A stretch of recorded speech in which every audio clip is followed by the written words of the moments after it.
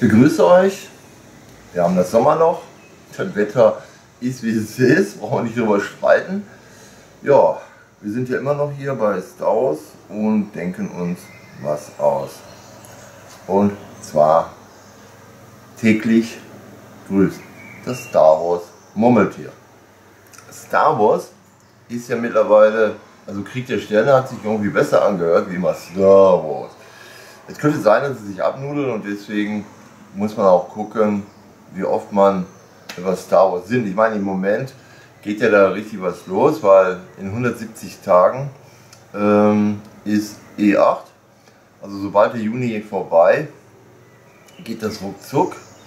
Äh, Im September kommen die ersten weihnachtlichen Sachen. Ja, dann ist schon mal so eine Art Vorbote. Ähm, Im Moment fliegt die Zeit. Irgendwie fliegt die Zeit, keine Ahnung warum, aber ist so. Und äh, wir suchen jetzt das sogenannte Sommerloch, haben jetzt die Abhandlung über Han Solo. Und es ist richtig. Auch wir, besonders ich auch, als Filmemacher. Wenn man arbeitet, Filme macht und abgelöst wird oder auch nicht oder die Sache zu Ende bringt, irgendeiner schreit immer rum äh, mit Urheberrecht, die streiten sich jetzt. Die streiten sich jetzt über die Urheberrechte im Moment. Und äh, wie gesagt, Catherine Kennedy ist halt, mag es nicht. Sie mag das nicht, was die da abgeliefert haben. Und so wie ich mir alles angesehen habe, äh, würde mir das auch irgendwie nicht gefallen. Ich meine, die Tricktechnik ist ja okay. Äh, man kann daraus vieles machen. Ähm, wenn wir Glück haben, schaffen die in den drei Wochen, also am 10. Juli, äh, starten die wieder und drehen dann nochmal einen ganzen Monat. Vielleicht drehen sie auch ein bisschen länger und äh, können dann mit diesem Material vielleicht was machen, weil das sind ja auf eine Art ja alles Profis. Und das Geld ist ja auch da, ist ja nicht knapp. Äh, sie müssen es halt nachher vertreten, wenn es in, in den Sand, also bis jetzt Erfolg. Ja? Rook One hatte Erfolg, ist ja auch neu gedreht worden. Morgen, Hallöchen. Theater war auch gerade da, haben ihre Sachen gemacht. Auf der Theaterbühne ist Sommer. Im Sommer geht viel los, auch wenn wir jetzt das Sommerloch haben. Wie gesagt, nicht nur Film auch im Theater ist wie gesagt viel los und äh, jetzt wird auch vieles gemacht, auch jetzt Ende der Woche wird vieles gemacht in verschiedenen Lokalen, nennt sich äh, Lokal, Kunst im Lokal heißt das. Okay. Aber wir bleiben hier bei Star Wars, Sommerloch. Ich werde wohl nicht viel berichten, stelle nur fest, dass Star Wars im Moment ähm, so ein bisschen in so einem, auch in so einem Sommerloch verschwindet. Es ich meine, man hat ja gesehen, Vanity Fair wie E8 und wir warten halt auf den nächsten Teaser oder Taser sogar oder einen dreiminütigen Clip über E8. Könnte ja sein, dass im Juli oder im August sowas geschieht, um uns nochmal so richtig ähm, anzukokeln. Ey, geht rein, geht rein. Ich bin ja gespannt. Ich bin gespannt, wie voll E8 wird und ich bin gespannt, wie die Resonanz von E8 sein wird. Han Solo ist klar, das ist nächstes Jahr. Das ist, äh, die sollen jetzt erstmal da in die Pötte kommen. Ich meine, äh, was da abgeht, ist halt ein Fehlgriff, das muss man einfach so sagen. Weil wenn man Regisseure gehen lässt, äh, mit gar nichts zufrieden ist, weder mit der schauspielerischen Leistung, weil äh, der Schauspieler den Han Solo nicht so verkörpert, wie Han Solo war. Ja? Äh, man man hat ja eine Vorstellung von Han Solo und das ist nun mal Harrison Ford. Und er springt jetzt rein, er sieht ihm ja ähnlich und durch die Maske und das alles wird es sicherlich äh, klappen, dass er so etwas ähnlich ausschaut. Ähm, aber die Gestik, die Mimik und wie er sich geben wird als Schmuggler, ähm, na, also dieses typische, hm, kann ich auch nichts für. Ne? Ja, aber du schuldest mir. Ja, also das sind so Sachen, dieses Schlitzohl kam wohl nicht so richtig rüber. Und deswegen hat er einen Coach bekommen. Er hat einen Trainer bekommen, dass er dann die Figur Han Solo äh, richtig rüberbringt. Lassen wir uns überraschen. So, ich verabschiede mich jetzt erstmal ins, ins sogenannte Sommerloch. Ab in den Sommer. Äh, ja, was man so Sommer nennt. Ja, also wenn ich jetzt hier rausschaue, es ist warm, es ist tropisch warm, ist kein Scherz. Es ist auch wie in den Tropen halb dunkel, nass. Ja, was bekommt man? Kopfschmerzen, hm, klamme Klamotten. Da heute noch eine Figur kommt, werde ich sicherlich äh, gleich irgendwo im Anschluss diese Figur nochmal eben kurz vorstellen. Und zwar, wenn ich Glück habe, kommt ja heute 3-3PO aus E7. In E7 hatte er ja diesen roten Arm und hatte sich ja zwischen Lea und Han Solo gestellt. Ah, ne? Ja, schauen Sie mal, haben Sie mich vielleicht gar nicht erkannt, aber jemand oder? Ne? Wir mussten also nachlesen, was er jetzt mit seinem roten Arm auf sich hatte. Es wurde natürlich rumgewitzelt, ist klar. Ähm, aber durch einen Comic wussten wir also, dass sein Arm durch eine Schlingpflanze da entrissen und er dann halt irgendwo einen Arm sich besorgt und dann daran montiert hat. Ja. Äh, die Dramaturgie denkt sich irgendwas aus, ob das alles so sein muss, frage ich mich jetzt. Da analog hier keiner mehr ist, also analog mögen die Leute Star Wars nicht so. Ich meine, die Preise, die hier aufgerufen werden, sind ja auch nicht gerade günstig. Und äh, deswegen digital. Digital äh, freut es mich, sehr viele zu wissen, dass viele Star Wars-Fans sind. Ich finde es auch toll, wenn die vor laufender Kamera sich da einkleiden als Stormtrooper, ähm, wenn sie zeigen, was sie so haben, was, mit was sie mit was, ja genau, mit was sie sich beschäftigen. Ich finde es auch klasse, wenn die Drohnenkapitäne ihre Drohnen über das Filmgelände sausen lassen. Und äh, Gott sei Dank sind es ja zig, also zig Frames. Und somit können sie der beste Frame ja raussuchen, um äh, ja, die Firma ist auch gerade beliefert worden. Deswegen war das so. Ich habe äh, hab alles weit auf. Ihr seid total recht herzlich willkommen im Sommerloch. Lasst euch im Sommerloch sehen. Wir können uns gerne hier in der Lounge hinsetzen, über Star Wars philosophieren, austauschen, live austauschen. Also wer Zeit hat, kann natürlich die sogenannte Kulturhauptstadt, jetzt heißt sie Grüne Hauptstadt. Also zuerst war es die Kulturhauptstadt 2010, die Stadt Essen, jetzt heißt sie Grüne Hauptstadt, äh, Hauptstadt, Grüne Stadt Essen. Und äh, ja, die, die, Hauptstadt ist ja jetzt schwarz-gelb. Ne? Also die Hauptstadt ist schwarz-gelb, die ganzen Dortmunder freuen sich, dass sie endlich ihre Fähnchen da hinsetzen können, schwarz-gelb. Schwarz-gelb bin auch ich. Und solche Scherze rufen können. Also haben wir jetzt Sumsen hier. Ich hoffe, dass die Sumsen uns auch einiges bringen. Ich habe heute Morgen schon einige Anekdoten hier gehört von der sogenannten Verwaltung. Es ist schon ziemlich merkwürdig. Und ich hatte auch gestern schon einige lustige Sachen gehört.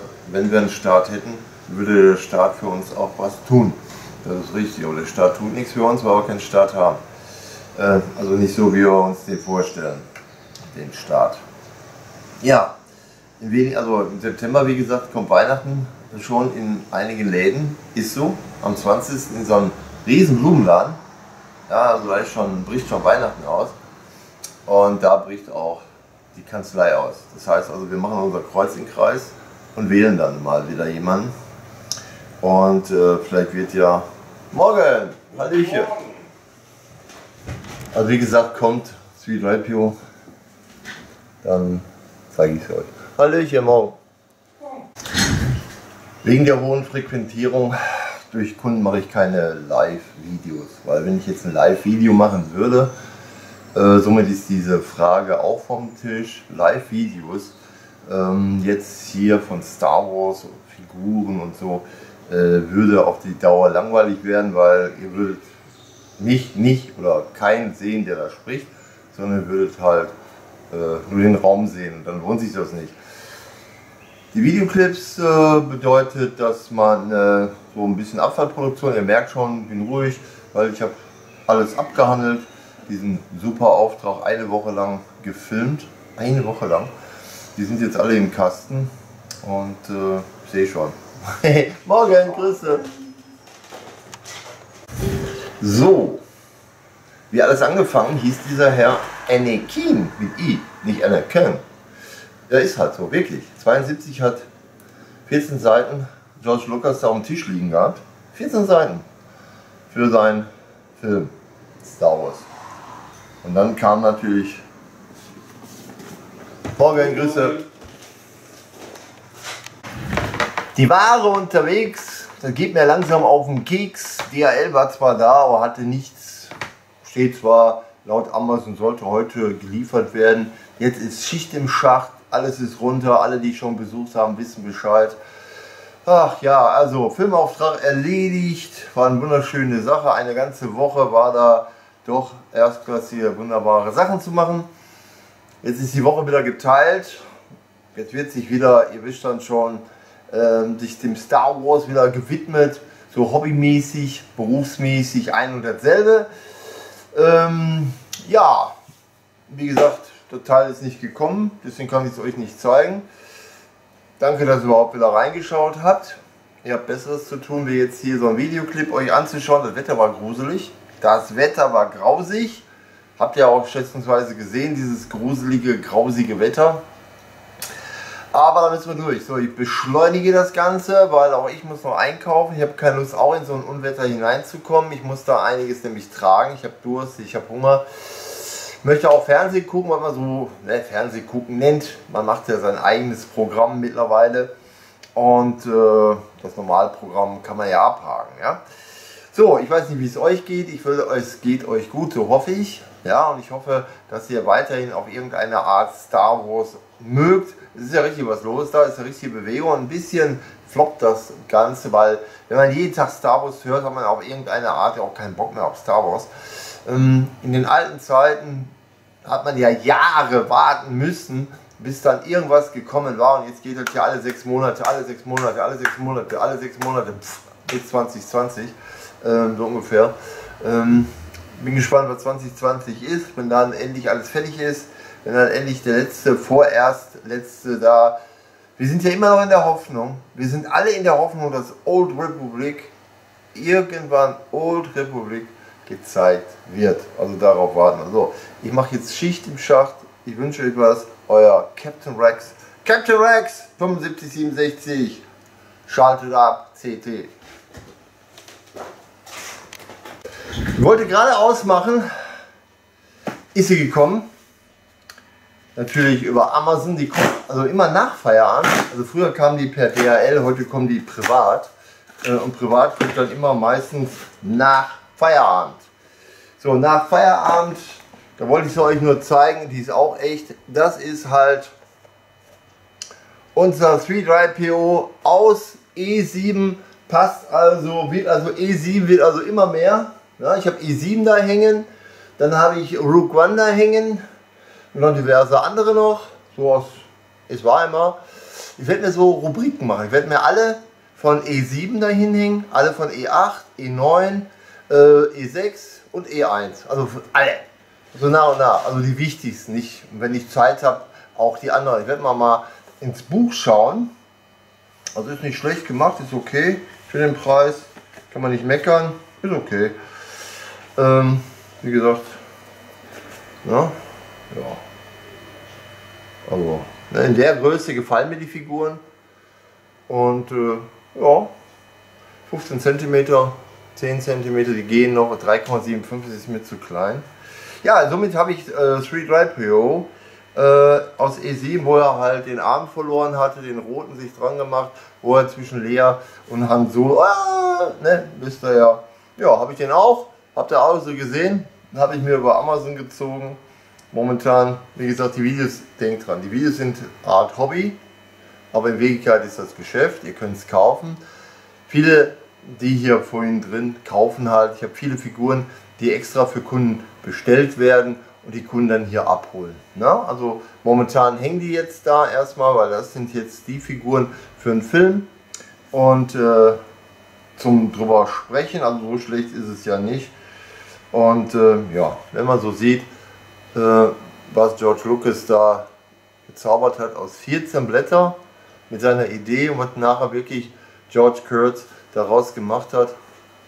Und die anderen, die da für ihn geschrieben haben, ist schon eine tolle Sache. So, jetzt mache ich mich immer weg, weil ich habe noch zu tun und möchte da noch was im Fernsehen sehen. Ne?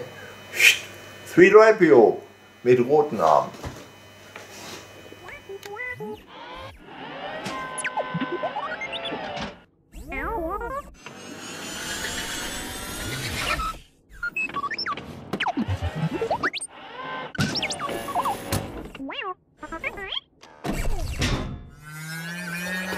Wow.